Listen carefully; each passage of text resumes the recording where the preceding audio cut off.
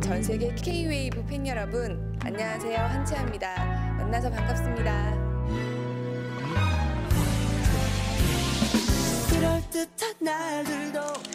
KBS 1 드라마 당신만이 내 사랑 2015년도 많이 기대해 주시고요. 열심히 노력하겠습니다. 새해 복 많이 받으시고요.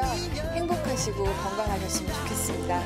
K-웨이브 팬 여러분, 사랑합니다.